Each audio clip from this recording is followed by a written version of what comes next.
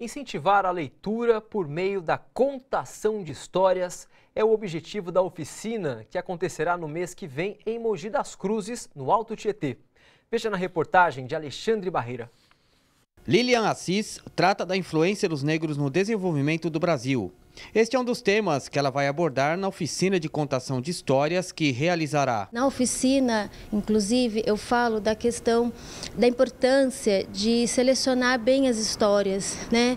E nesse selecionar as histórias, você tem que pensar assim que a literatura ela caminha de acordo com a sociedade também, né? A sociedade que a gente vive hoje.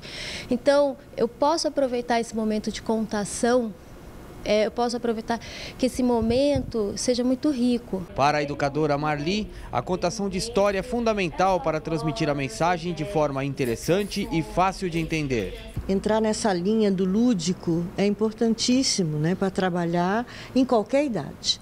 Né? Eu, como professora que fui, professora de, de língua portuguesa e literatura, é, tentava utilizar sempre esses, esses métodos de contação de história para as crianças. A oficina de contação de histórias aqui no Casarão Mariquinha, em Mogi das Cruzes, terá 20 vagas disponíveis para adultos e jovens que queiram levar o conhecimento às outras pessoas por meio de contação de histórias. Para contar as histórias, tudo ajuda. Instrumentos musicais, fantoches e uma caixa iluminada. Depois é só soltar a imaginação. Essas caixinhas têm uma história de lá do outro lado do oceano.